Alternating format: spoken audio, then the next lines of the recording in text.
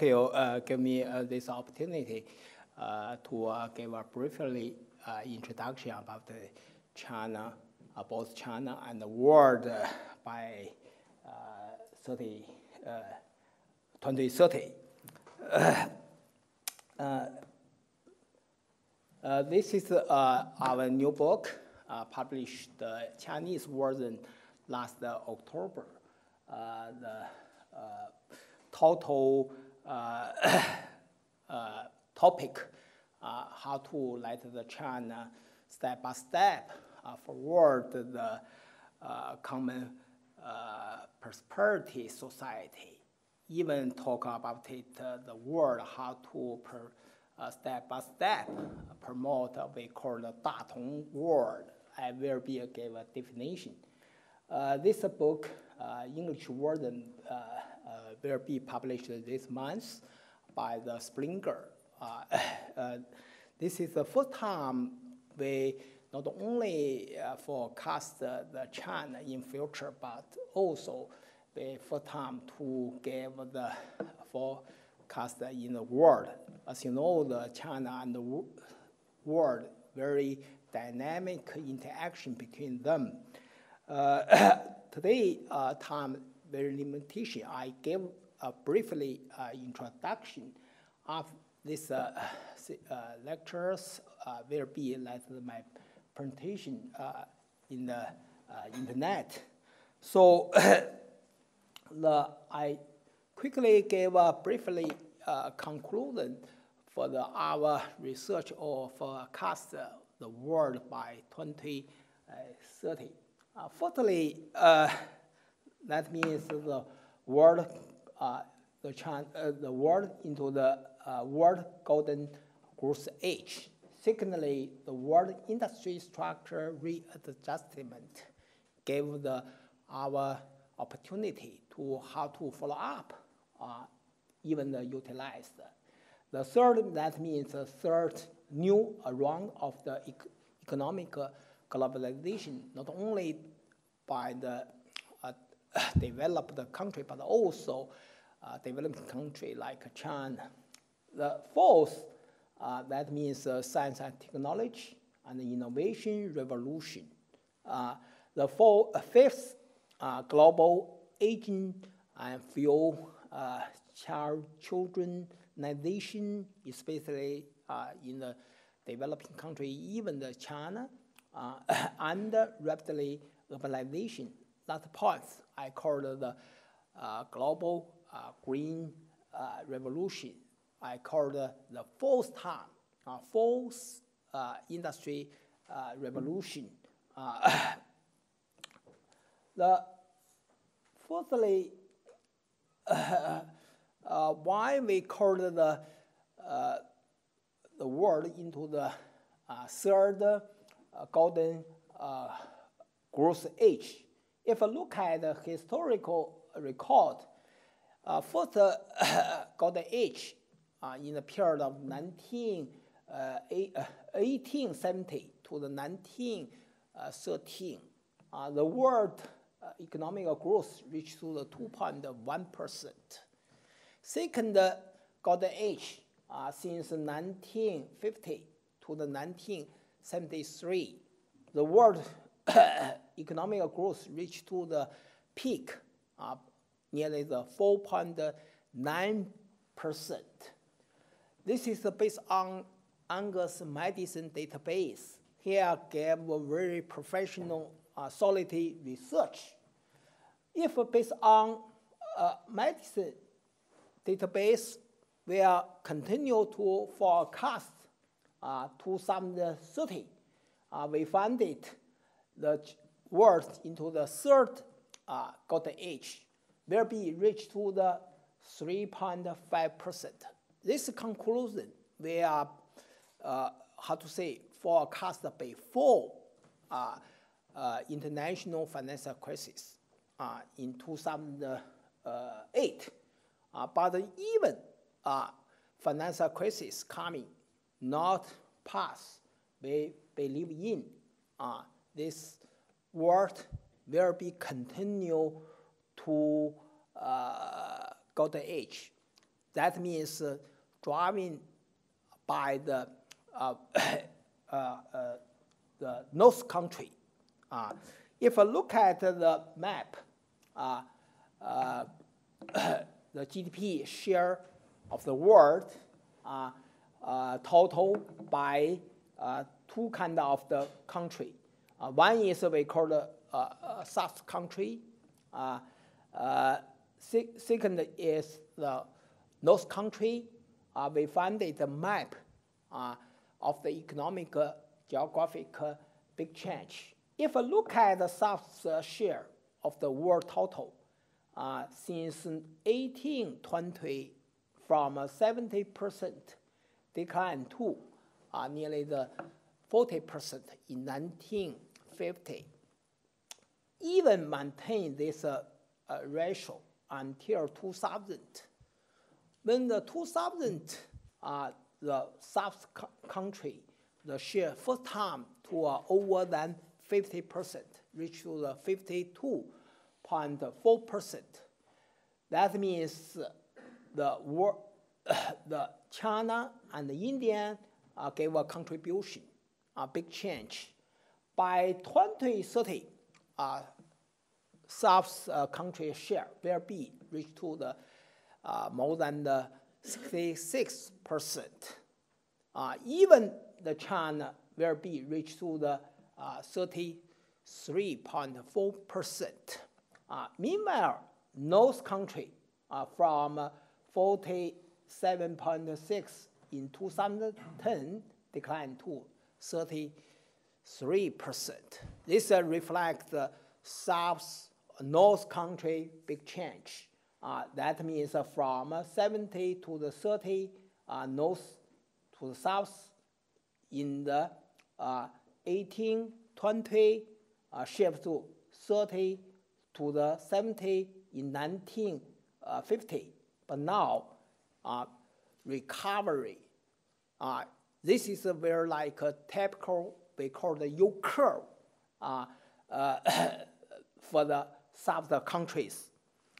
Uh, if I look at the uh, industry structure global, a big change, uh, even the agriculture share continue decline, industry continue decline, uh, uh, service uh, sector continue increase.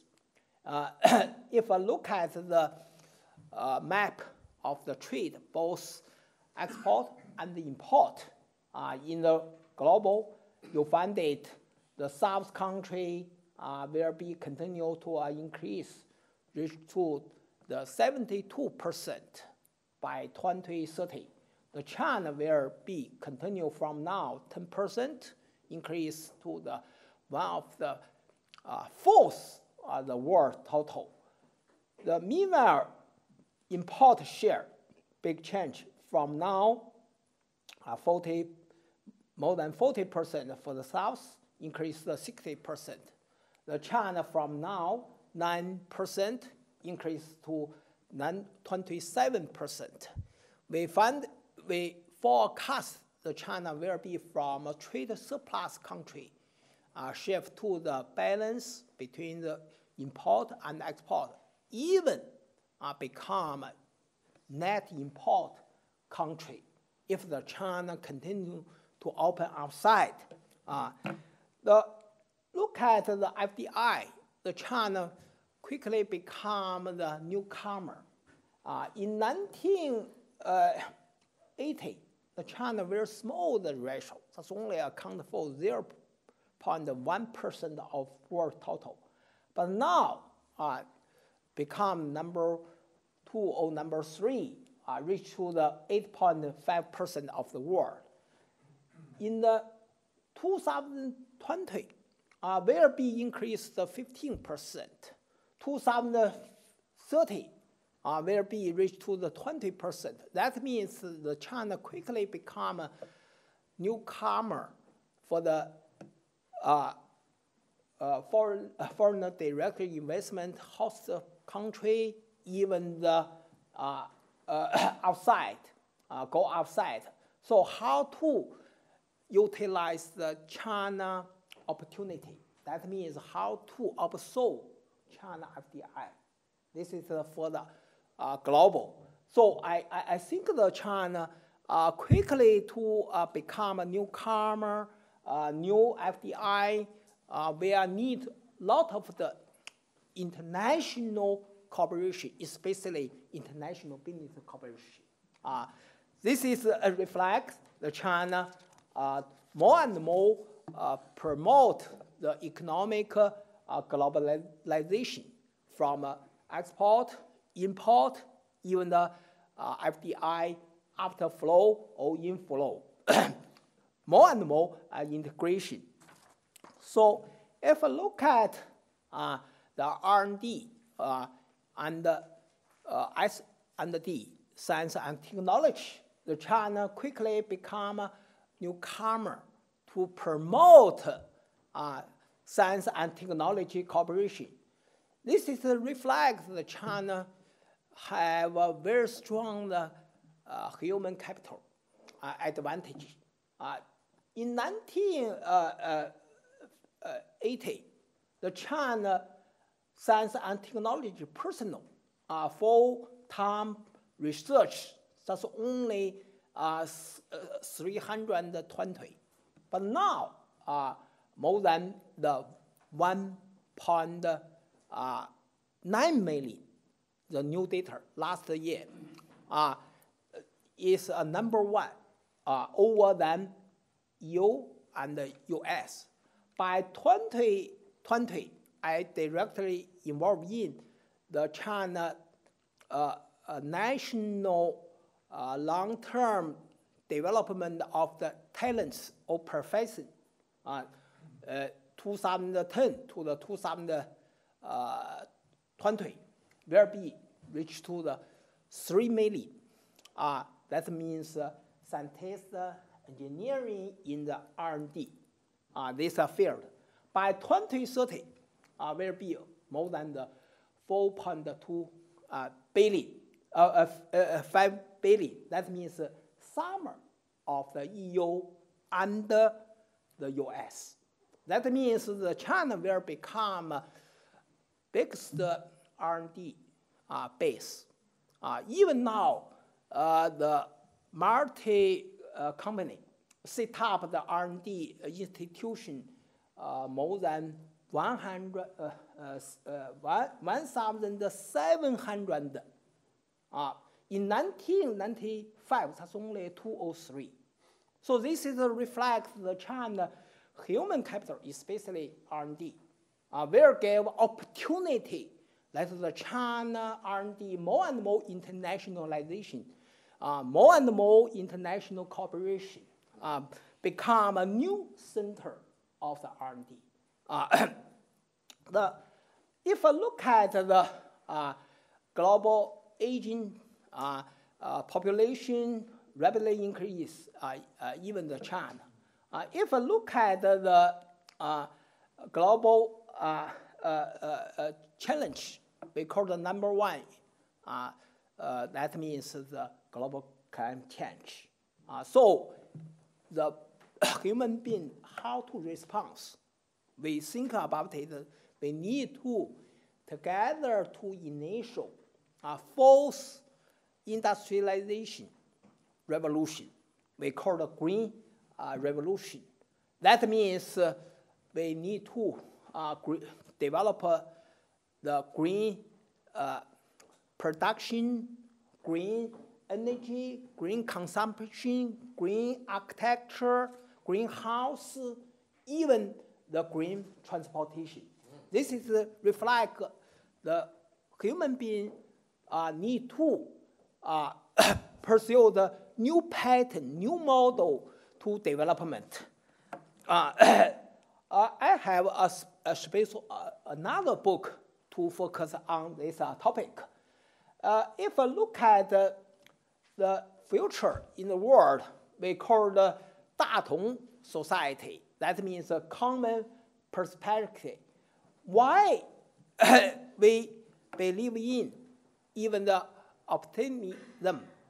Uh, I calculated the catch-up index of the GDP per capita. Uh, that means North country uh, equal to 100%. If I look at the South Asian developing country, China, and India, we funded the curve uh, since 1820. We call the divergences, uh, great divergences. Even look at 1950, South country account for about 20%. Continued decline after 2000, this curve reverse, uh, increase to the 18% last 10 years. Uh, if the by 2030 will be increased to more than uh, 30%. Why North country or South country from a great divergences shift to the great convergences? I think the China, Indian, and Asia developed country and other some emerging developed country give a contribution. They are quickly to a convergences with those country, especially like China uh, with US. Uh, not only from uh, per capita GDP, but also education indicators, health indicators, even the HDI, Human Development Index. This is why we concern us or focus on human being. Uh, we are look at. This is a good news. Even the poverty, uh, absolute international standard, uh, poverty incident rate rapidly decline, uh, especially China and India. Uh, the China next step, uh, target, that means get off all the absolute a poverty population. Uh, the, uh, if I look at uh, the Datong, the piece, Datong word, what meanings, we gave a clear the definition. One is the peaceful, the word, that means depend on the Chinese leaders. Second, uh, we call the harmonious uh, word. This is the uh, announcement by the, our president, uh, Hu Jintao, 2004 or 2005. The third, this is our uh, definition. That means the common reach the world. That means based on the catch-up indicators, we find it the per capita GDP, per capita income, education, health, and other some indicators will be convergences. Last point, very important, with definition, the green the world. That means the China need to give a contribution green the world. I called the green contribution. I quickly to uh, mention about it, uh, China uh, situation by 2030. Uh, firstly, we need to, from economic side, secondly, from science and technology, the third, from human development, the fourth, from uh, common rich ideas. Last point, green contribution. From uh, green uh, uh, contribution. Uh, the, I use the three approach to forecast the China GDP tendency uh, uh, with the US. Uh, firstly, we use the current uh, exchange rate. Secondly, uh, based on the PPP current price. Uh, thirdly, we use the uh, Angus Maddison methodology based on constant price at the PPP. that means in the 1990s international US dollars. This is very professional to calculate. I introduce a, a coefficient we call the catch-up index that the US equal to 100%. If I look at the 2000 data, you find that these three approach very diversity, are very different That means uh, from uh, 12% uh, uh, to the uh, uh, 54%. If uh, look at 2010, uh, from uh, 40% to the 100, that means uh, based on uh, Angus Maddison data, 2008, US is about 1.07% of the China.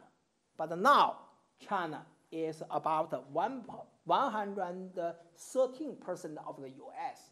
This is our calculate based on Angus data.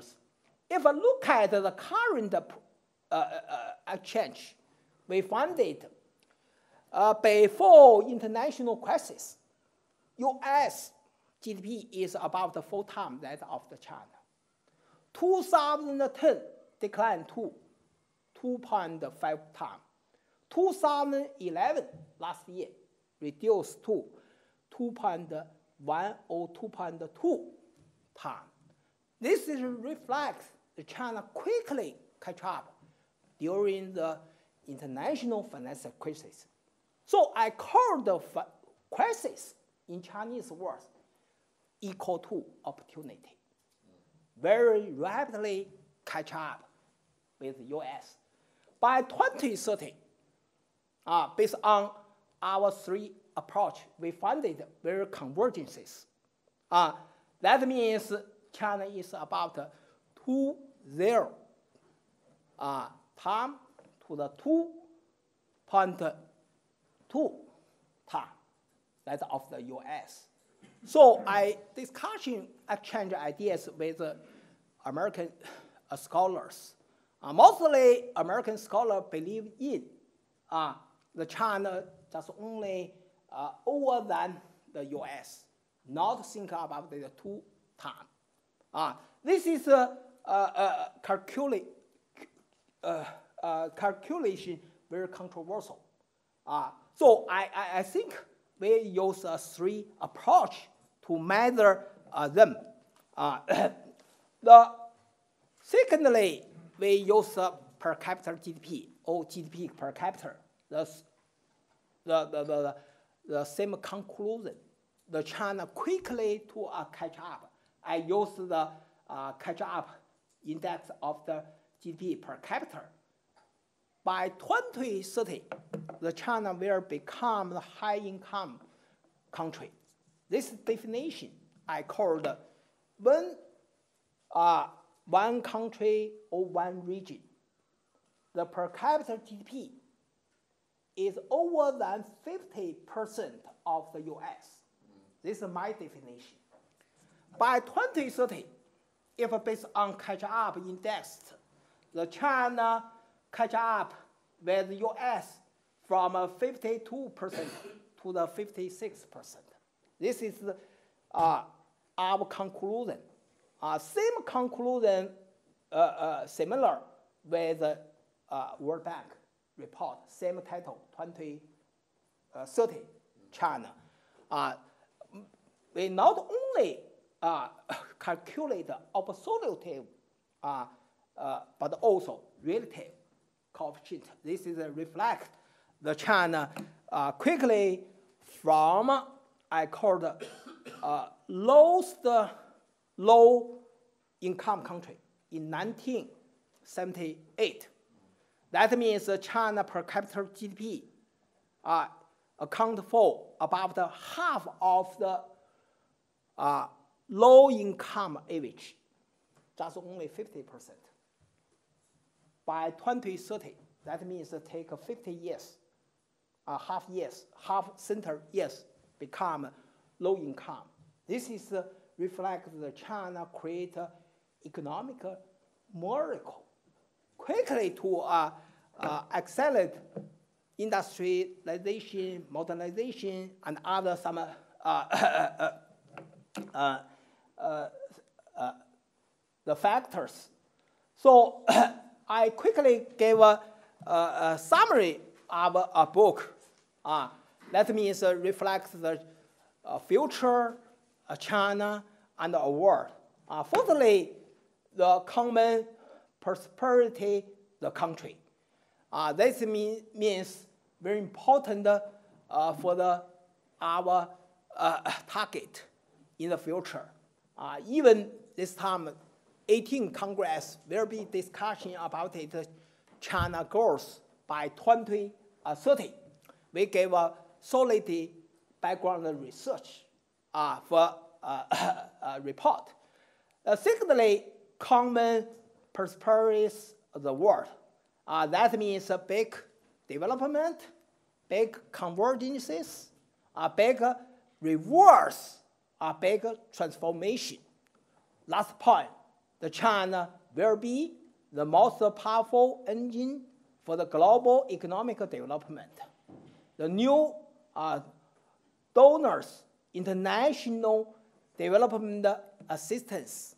Uh, my book gave a, we call a, a very big uh, uh ODA uh, uh, plan. that means by 2015, the China ODA, especially for the Asia, Asia and the Africa, American, North American, the poor countries, reach to the 0.3% of the GDP. That means uh, American uh, now just only 3.0.3%. Uh, uh, By 2020, will be reached to the OECD's average. That means 0.7%. By 2030, more than 1 percentage. So the China will be become a number one donation of the ODA. Last point, the leading country of the global big transformation.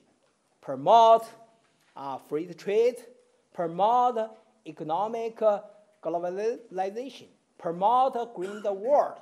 Uh, so if the China success, the world success. If the China failure, the world should be failure. Thank you very much.